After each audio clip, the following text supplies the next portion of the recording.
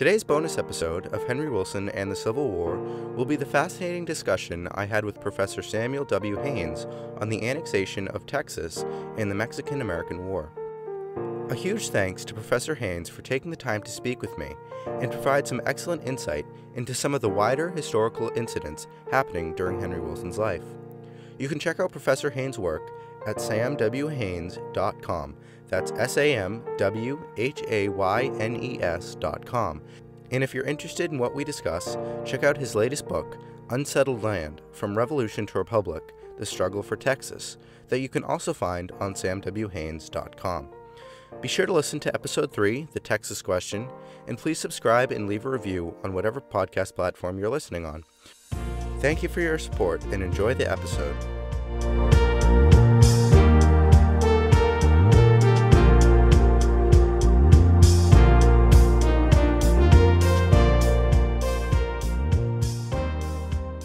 My name is Sam W. Haynes. I teach at the University of Texas at Arlington. I'm a professor of history there, and I'm also the director of the Center for Greater Southwestern Studies. I teach uh, 19th century US and uh, the American Southwest. Perfect. Um, so the first question um, is regarding uh, the lead up to kind of the fight for Texas and why was Texas prompted to become independent from Mexico uh, prior to its acquisition by the United States? So recently, the, struggle uh, with Mexico has been cast as a rebellion to extend slavery. And um, I think it's a good deal more complicated than that. Uh, it's important to remember that immigration uh, American immigration uh, into Mexico had been going on for about a decade uh, before the Texas Revolution broke out. And um, three times, uh, once in 1826, uh, once in 1832, and then finally uh, in 1835 when the rupture with Mexico takes place. But three times Americans claiming to be Mexican citizens had taken up arms against the Mexican government. So this is a revolution or a rebellion with a lot of moving parts. Uh, it involves Mexican nationals uh, uh, in its early stages as well, uh, but it clearly morphs into a um, an American uh, push westward across the continent. What had begun as an internal Mexican struggle becomes a new chapter in the expansion of the United States, and therefore it is um, closely intertwined with the sort of existential debate then going on in the United States, and that is the debate over the expansion of slavery. The um, if if you want to touch on what drew people to Texas, what drew Americans to settle in Texas? Land, uh, in in a word. I mean, some may have been slave owners, some may have wanted to become slave owners. Um, but land primarily. Uh, land was, you could acquire a league of land, uh, a league and a labor of land, which is about 4,600 acres.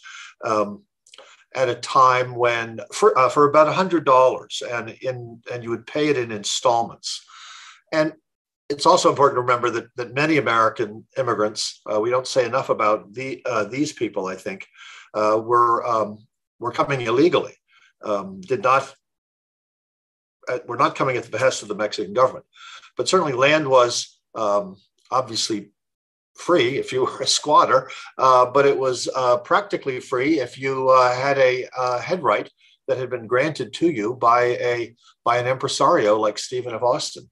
Um, land in the United States, public domain, was going for about a dollar twenty-five an acre, uh, had to be paid in specie, and um, this was an almost unbelievable bargain. And so the, the what the Mexican impresario program was an almost unbelievable bargain. So it's no surprise that they uh, that Americans, primarily from the lower South, uh, begin to come in droves, uh, starting in the early 1820s.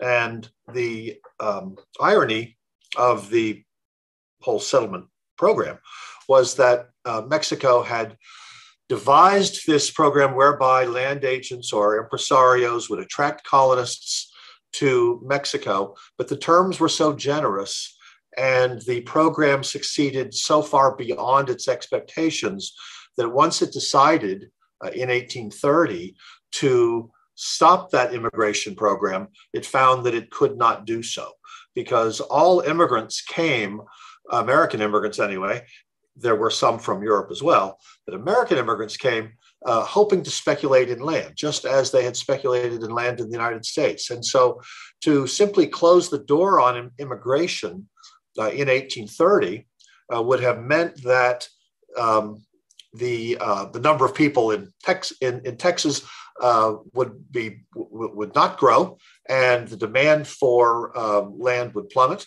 So it was really in the best interests of American immigrants into Mexico to ensure that more people came.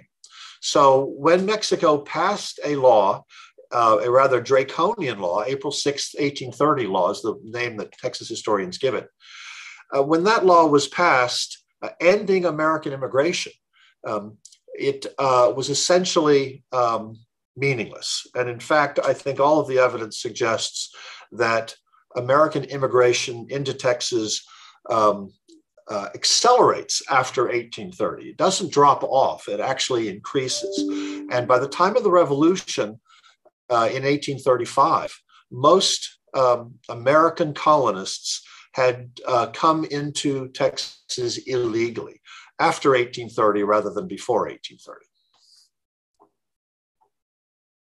It's a rather long-winded answer. I don't know how long, how much detail you want to go into with with land and all that. No stuff. worries. uh, no, that that was fine. Um, so um, I suppose moving on from just kind of the Texas question, but what were the factors, um, including Texas and beyond Texas, that were kind of uh, important in the buildup to the Mexican American War, and what actually led to that breaking point of war with Mexico. Okay. Let me start by talking a little bit about the Texas Republic, shall I? Because um, Texas is a, Texas, after the War for Independence, becomes a, a separate nation. And for the better part of a decade, uh, the Lone Star Republic is a, um, uh, uh, a new nation in the American Southwest uh, with hopes at least on the part of some people uh, in Texas, to become a permanent nation state, rivaling that of the United States. At least that was the thought of one of the uh, Lone Star Republic's presidents, Mirabeau Lamar. Um, and to go back to my earlier point about slavery and the Texas Revolution, uh, I'm not convinced that the Texas Revolution was a war just about slavery or the expansion of the institution. But it's pretty clear after the um, rebellion is over that uh, white Texans uh, want to create a republic for white citizens. Um, this is we see this in uh, the Texas Constitution, which is written at the uh, height of the rebellion in, in March, just uh, um, shortly after the, the Alamo. In fact, the Con- Texas Constitution is written in some haste, uh, but the delegates to the convention make it very, very clear that the institution of slavery cannot be compromised or infringed upon in any way. There are many similarities to the US Constitution. Uh, it's probably um, more like that than any other doc, any other political document, certainly. Uh, but on this point, uh, certainly the delegates felt very, very um, the uh, institution of slavery is not guaranteed in the US Constitution, but it most certainly was in the Texas Constitution. Um, free blacks uh, were um, expelled, um, at least uh, that's what the Constitution said. They had a hard time enforcing that uh, during the Republic period. Indians and um, uh, were not citizens. Uh, free blacks were not citizens. Um, Mexicans were granted citizenship, but um, somewhat reluctantly, I must say. And during the Republic uh, period, this decade long era, you see the um, a process whereby slavery becomes more deeply entrenched, the rights of free blacks become compromised. Uh, Mexicans uh, quickly find that the uh, uh, this that Texas, where they many of them had lived for generations, uh, it simply becomes untenable, and there is this gradual um, migration out of the uh, republic by Mexicans. Some flee into Louisiana, some flee uh, below the Rio Grande. There are actually very few Mexican Texans left when Texas is annexed to the United States in 1845. And then, of course, perhaps most famously or infamously, uh, the uh, Texas embarks on a, a really drastic expulsion removal program of many Native American tribes. And so thousands of um, Native Americans were expelled from Texas during the Republic period.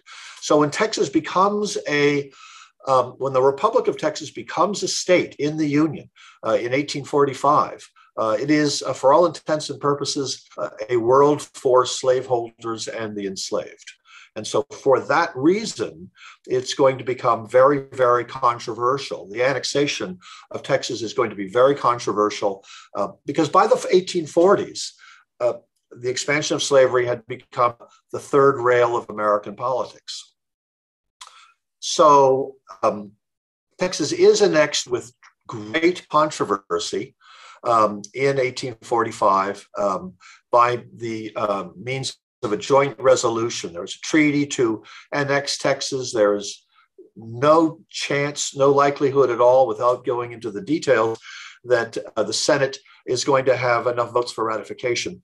Uh, but a joint resolution, which only requires a simple majority of uh, both houses, uh, that is considered possible. Um, that the so-called Brown resolution does pass uh, but by an extraordinarily slender margin, um, the vice president pro tem of the Senate is needed to uh, to break a tie. Uh, it is really one of the most uh, um, divisive issues that Congress has tackled uh, in, in its history up to that time. So, does that lead to the Mexican War? Not exactly, but I, but it's certainly very much involved in the events that follow. Uh, when Texas is annexed to the United States, um, the, uh, the Brown Resolution, the joint resolution, does not address the issue of what the southern boundary is. So the southern boundary of Texas, according to the Texas Republic, is the Rio Grande River. Um, that was a, a, rather laughable claim.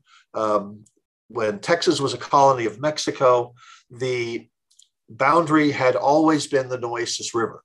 So the land between those two rivers, what we call the Trans Nueces, this was Mexican soil as far as Mexico was concerned.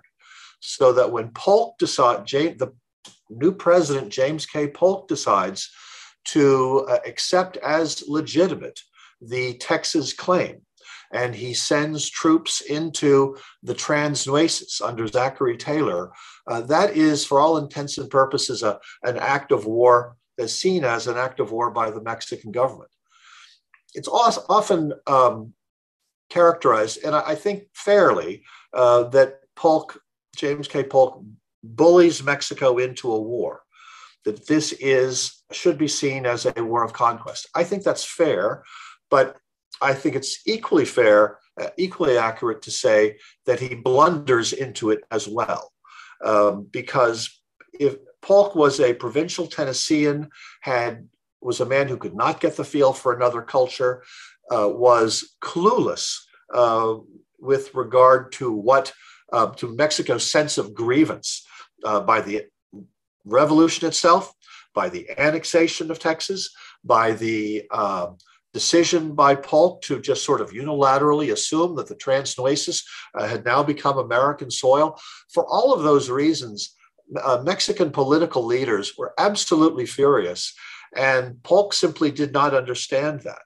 And he certainly thought that a show of force would um, bring Mexican leaders to the bargaining table, and that proved to be a gross miscalculation. Um, so does he bully Mexico into the war? Yes, but I don't think he really understood the chain of events that he had um, been very much involved in. When US troops under Zachary Taylor crossed the Nueces River and marched to the Rio Grande, uh, for all intents and purposes, uh, the United States uh, had um, um, set off a tripwire uh, that would lead to war, um, which uh, occurs in the spring, April 1846. Uh, and I would also say that after the uh, declaration of war, there are some early victories by Taylor's forces in uh, South Texas, at Resaca de la Palma and um, um, Palo, sorry, Palo, I'm sorry, I cannot believe I just forgot those two battles. Uh, can I start again? Um, I've forgotten what I was talking about now. I, I wanted to make the point about um, Polk and uh, and the outbreak of the war. All right, I'll start here. Once the war began, uh, there are some early victories uh, by U.S. forces under Zachary Taylor uh, at Palo Alto and Resaca de la Palma. Um, Polk thought after those battles were over that Mexican um, Mexico's refusal to negotiate uh, would now end, and that a negotiated settlement could be reached. Uh, and he was um, he simply uh, misunderstood the situation. Uh, then uh, Taylor's troops push on into northern Mexico, and uh, at each juncture, at each made after each American victory, and they were all American victories, Polk assumes that Mexican leaders would negotiate. Uh, and each time uh, he realized that that was um, simply not the case. When American uh, troops crossed the uh, what would soon become the American Southwest and seized Santa Fe, New Mexico, and then um, uh, ports on the on the Pacific in California. He again assumed that Mexican leaders would ag- negotiate. And what essentially had happened was that the Mexican government um, had become so was in such a state of chaos and disarray that uh, there really wasn't anyone to negotiate with, and so the war dragged on. So I think it's absolutely clear that if uh, someone had told James K. Polk uh, in the spring of 1846, when the war began, uh, that this war would drag on for a year and a half and finally end with the uh, American um, invasion of southern Mexico and the fall of the Mexican capital, uh, I think he would have been absolutely, he simply would have refused to believe you. He really did think uh, very early on, uh, even before the war began and in its early stages, that a negotiated settlement could be reached. And each time he was mistaken. So, would you would you say that although you know you mentioned he kind of stumbled into it and it was he was kind of mistaken um, do you think it, it worked out for him politically did it work out for him politically yeah do you think it, do you think it ended up being more successful for him i don't think there's any question that, that polk is one of the most successful presidents in american history and i think you can make a pretty persuasive case that he's the most successful uh, one term president in, in, American history. He accomplishes everything he wants and more. Was he a popular president? Um, or did that did those successes make him a popular president? The answer is clearly no. Um, he uh, has never um, was never a particularly po- popular president to begin with, and became increasingly more unpopular in the northern states as the uh, as the war dragged on. Um, and he had always been seen as a, um, again, going into uh, all of the details, when he had been nominated in 1844, um, it was a surprise to many Democrats. Uh, you'll often read in, in, history books that James K. Polk was the first dark horse uh, presidential candidate.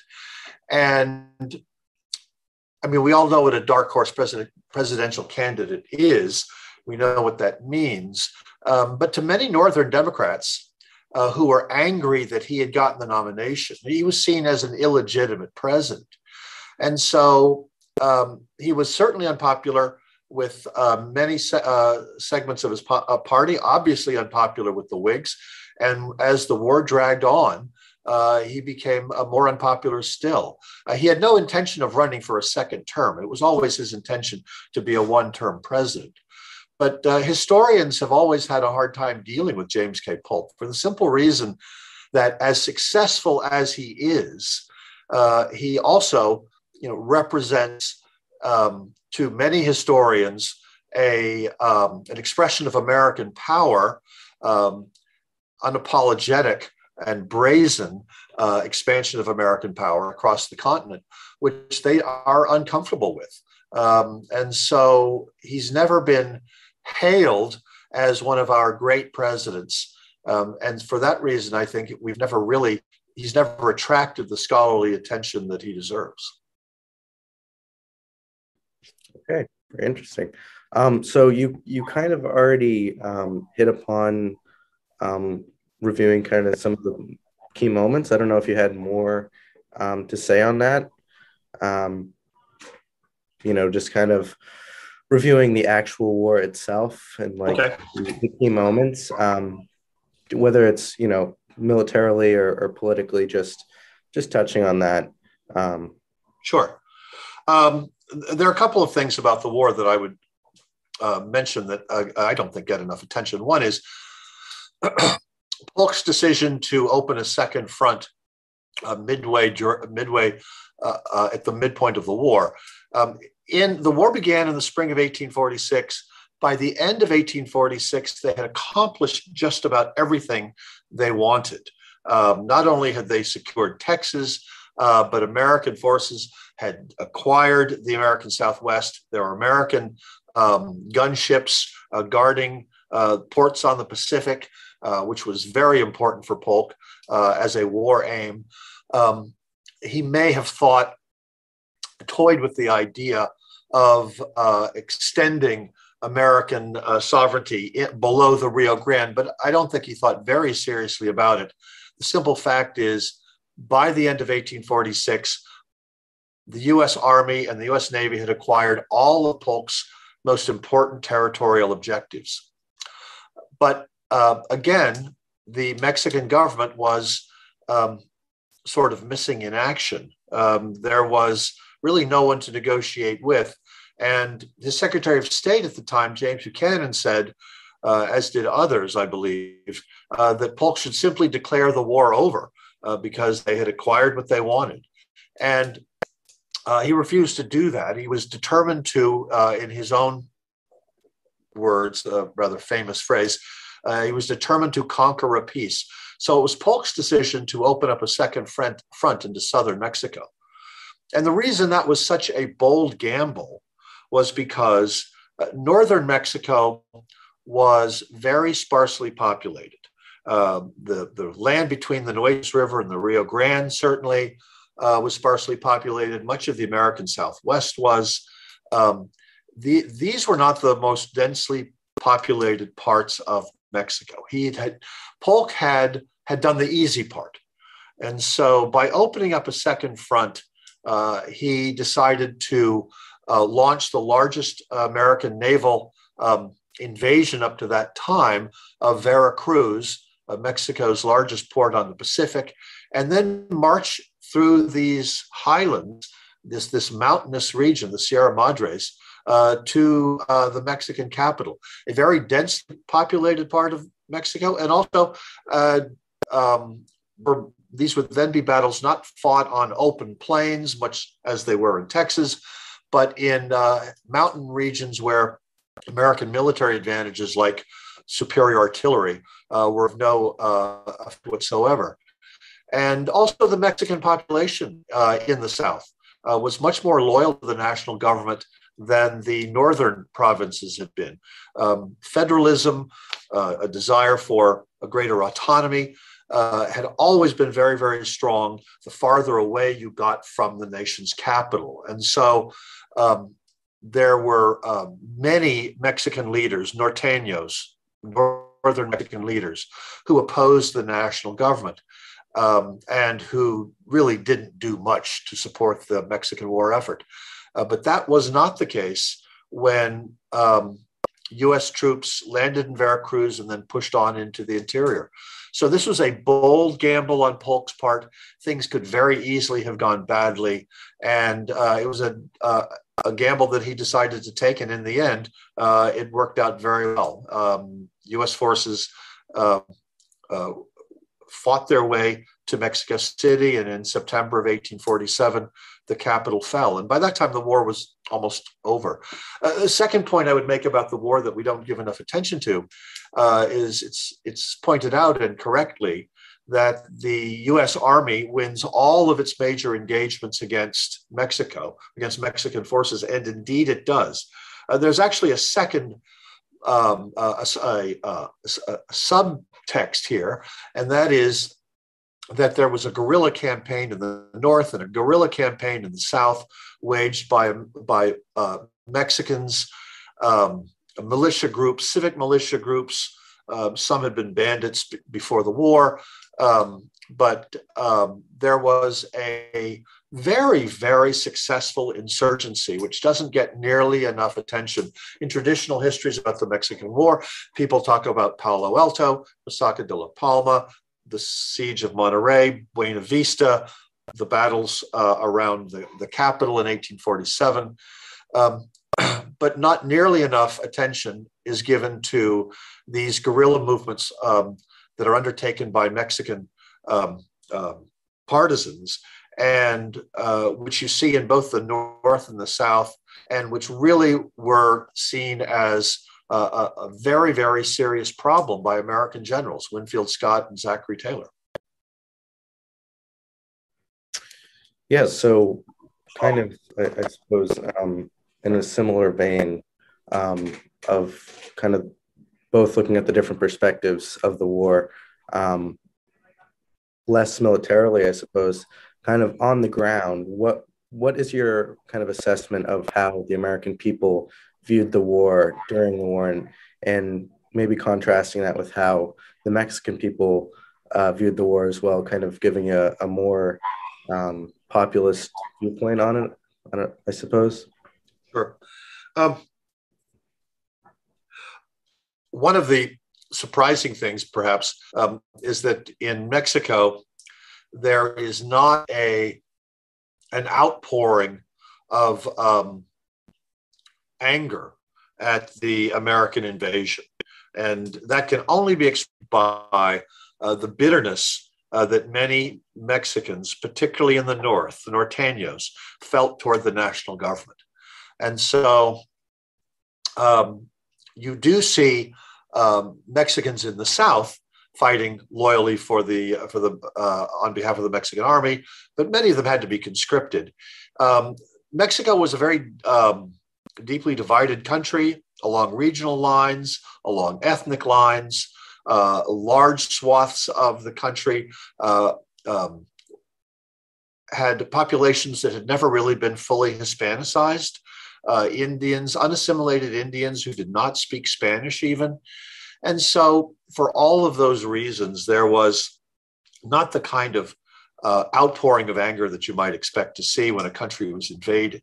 Uh, Mexico simply did not have a sense of Mexicanness, a, uh, a national identity. Um, there was uh, strong feelings of national pride on the part of the uh, Mexican intellectuals. And if you read the writings of Mexican writers during and after the war, uh, they uh, this really is for them a terrible. They feel a terrible sense of national humiliation. Um, but did the average Mexican feel the same way? I think the evidence is pretty clear that they did not. And the only way to explain that is just simply to point to, I think, the absence of a sense of uh, national cohesion, which the United States did have. And when the United States um, declared war in the spring of 1846, there was a groundswell of martial enthusiasm. And um, in fact, when Polk decides to turn to the states uh, who raise um, volunteer uh, volunteer companies, uh, they have to um, uh, select men by uh, by lottery uh, because the demand is so great. There simply was no shortage of men who um, white American men who wanted to go off to Mexico and um, and fight with Zachary Taylor or, or Winfield Scott. So uh, these are two very, very different countries uh, with very different, um, with, uh, whose populations had a very different sense of citizenship. Um, so I guess moving on from the uh, war itself and going on to the conclusion of it, um, how exactly did the conclusion or how exactly did the war come to an end? Um, and what were some of like the consequences um, and reactions to that? Okay, so the war ends for all intents and purposes with the fall of the capital uh, in September of 1847. Um, although it's important to point out that um, the war does continue. Uh, San- Mexican President Santa Anna uh, evacuates the capital and continues to fight on for a few months. Um, there are also some in- isolated engagements elsewhere uh, in Mexico. But for all intents and purposes, I think we can say that the war ends in the fall of 1847. And then in February of 1848, uh, a treaty is uh, signed between um, both nations, the Treaty of Guadalupe Hidalgo. Now, initially, um, Polk had decided that he wanted a he wanted larger territorial concessions than those that he initially that he uh, finally got. Um, he was uh, in, at first perfectly happy with the Rio Grande as a southern boundary for the United States, but as the war dragged on and he became more angry at the Mexican government's failure to negotiate, then he began to think of perhaps extending the American boundary as far south as Tampico, which is about 250 miles uh, south of the, uh, the mouth of the Rio Grande. Um, but he didn't get any of that, and that's he only got what he had wanted initially. And there are two reasons for that. One is that he had sent a diplomat um, to Mexico, a man named Nicholas Trist, who, um, you know, communications being, you know, what they were in 1848, uh, really wasn't in close contact with Washington. It was weeks to, uh, it would take weeks to write a, um, to receive instructions and, um, and so on. So uh, Trist was essentially operating on his own, and he cut the best deal that he thought he could get with um, Mexican leaders. Um, Polk was furious and, in fact, thought seriously about uh, tearing up the agreement and not submitting it to the Senate.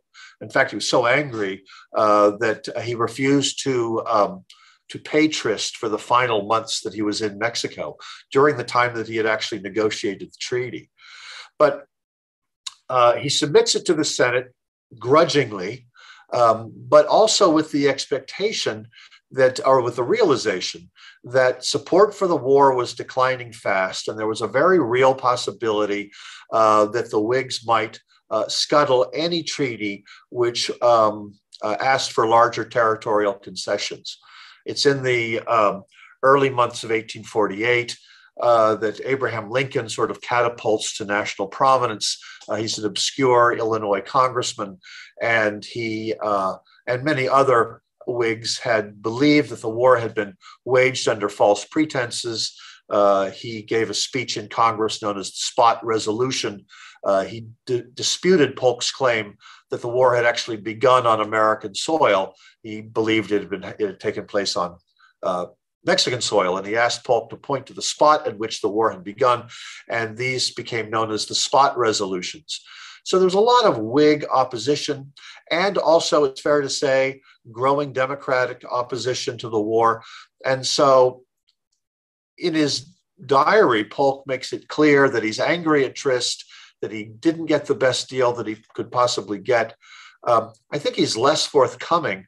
Um, perhaps in his own mind, he must have realized that uh, he was really submitting to the Senate uh, a treaty which gave him uh, the best possible deal he could possibly get. And it was an extraordinarily successful uh, treaty on the part, as far as the United States was concerned. Uh, it extends the American um, territorial sovereignty by about a third. Uh, larger if you include uh, the annexation of Texas, which had just preceded it. And this was all in exchange for the United States willing to forgive um, Mexican uh, debts to the United States, uh, which may have been wildly inflated anyway.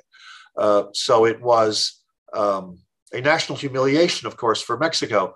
Uh, but the Treaty of Guadalupe Hidalgo has to be seen as, you know, one of the great diplomatic achievements in American history, and perhaps as a side note, it's worth noting that um, the United, that uh, American Anglo-American um, settlers in California were uh, panning for gold uh, in Northern California while those negotiations were being made.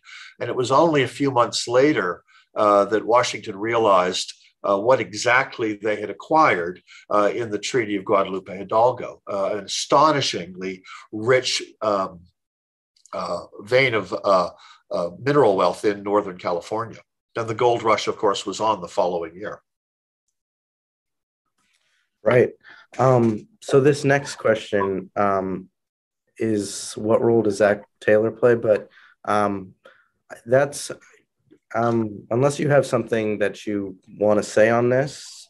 Um, I think I'm just going to skip this unless you have something important to say because you mentioned Zach Taylor. I just wanted to make sure that uh, he was he was mentioned, so that's why I included that. But unless you have something special you want to say about his role, um, um, okay, well, I guess this is, just, I don't know if you want to use this or not. Um, but um, uh, one of the more sort of, to me anyway, uh, sort of fascinating um, sort of what ifs in history was uh, what if Zachary Taylor had lived? Uh, Zachary Taylor dies soon after, a few months after uh, uh, his inauguration. Uh, on inauguration day, James K. Polk rode with him to the Capitol, where Taylor um, was to give his uh, uh his inaugural address and accept the oath of office. And he happened to mention to Polk uh, on the uh, in the carriage ride from the White House to the Capitol that he was not sure that all of the land that had been acquired by the United States uh, should necessarily remain part of US territory. He could imagine uh, splitting up much of what became known as the Mexican Cession into separate republics. Uh, and James K. Polk was absolutely aghast. Uh, but of course, that never happened. Uh, Taylor would, would be dead uh, within a few months, as would James K. Polk, for that matter. Right. That's fascinating. Um, so you did cover um, what President Polk's viewpoint was. Um, so I don't know if you had anything else you wanted to say on President Polk uh, during the war, um, but I think you covered just about everything. But go ahead if there is anything. Well, I guess I, I mean if you're, I guess you're going to talk about. I mean, the guy you're interested in is a founder of the Free Soil Party, right? Yeah, yeah if you want to mention, talk about that for a second as well. Um, yeah. Um, so there's a very famous quote by Emerson, and I'm paraphrasing here. Um, after the war was over, he referred to the Mexican cession as uh, arsenic. Uh, it would poison the United States. And um, in fact, that uh, prophecy becomes uh, uh, all too true. And uh, here again, I think you find James K. Polk sort of fundamentally misreading the situation. Um, when uh, California applies for statehood, it becomes very, very clear this is going to be a phenomenally divisive issue. Um, that now the expansion of slavery had become very, very important. It had not only div- uh, it uh, divided the, the countries along the country along regional lines, but it was also signaling signaling the death knell of the Democratic Party. And in the final weeks of uh, his term of office, uh, James K. Polk, in his diary, uh, begins to sound a, a note of alarm. Uh, which you don't find elsewhere. You don't find, he writes this diary starting uh, in 1844 and uh, has entries virtually every single day, some of them quite lengthy, um, until he actually leaves the White House. Uh, and there is a, uh, a, a, note of concern that gives way to alarm in the final weeks when he realizes the political significance uh, and the political controversy uh, which this war had uh, had unleashed. Um, he was finally beginning to get it. Um, people had been telling him this. I think the um, um, you know, warning signs had certainly been there, but it was only um, in the waning days of the Polk presidency they began to realize the truly um, earth shattering and seismic implications of acquiring this much territory, that it would unleash sectional tensions, which would give rise to the Civil War. Um, yeah, and then just just one last um, note, which I thought of, um, was if you just want to like, not just kind of briefly mention um, any like overlap um, in regards to generals like within the Civil War uh, and the Mexican uh, War, not so much as like kind of its like road to the Civil War, but more as just like what generals served, because I know that there's a huge overlap there. Um, to any kind of notable. Sure, this isn't really my field. I don't know much about military history, um, but I mean, it, it's often uh, remarked that uh, the, Mex- the US Mexico War, sort of a dress rehearsal for the Civil War, um, all of the notable generals, many of them West Point trained, uh, saw combat experience in the US Mexico War. Robert E. Lee, perhaps most famously, was involved in the um, major engagements before um, uh, on the outskirts of Mexico City when the uh, just before the uh, the fall of the capital. So it really was a, uh, a dress rehearsal for many of them. Okay, perfect. Um, I, mean, I, I, could list a bunch of generals, no. but I really don't know what I'm talking about. No. So no, I totally, I totally hear you. I'm, I'm certainly, I know a lot about the Civil War, but it's some of the military history just gets bogged up in my mind. Um, yeah, right. But um, the the one question that I have asked everyone who I've talked to um, was before I reached out to you, before um, we set this up. Had you ever heard of Henry Wilson? Um, do you know anything about him? Have you ever encountered him in, in your studies? Um, I had to Google him after you and I talked. Uh, I didn't want to sound dumb, but I thought, how have I not heard of this guy? And then I realized, oh, we're talking about the Grant administration. Uh, and so my uh, knowledge of American history uh, begins to recede uh, very quickly after the mid 19th century. So I didn't feel so badly. Um, so no, I mean, I, I, think that's it's it's fascinating. I, I, I did read the Wikipedia entry. I hope it's accurate, um, but um, that was my first uh, introduction to uh, to Henry Wilson.